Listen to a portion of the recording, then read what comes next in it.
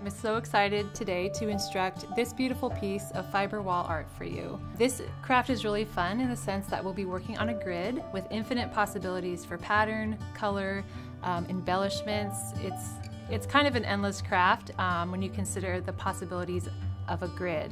Um, and I hope you explore more. Obviously, with the grid, you can really go crazy and think of a multitude of patterns to execute with these techniques. Once you know the basics, it's hard to stop thinking of ideas. Build your pattern and execute your own design.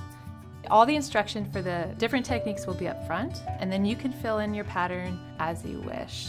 By the end of this workshop, you'll have a custom piece that you can embellish your home with or give to a friend um, in colors that you like and really speak to you.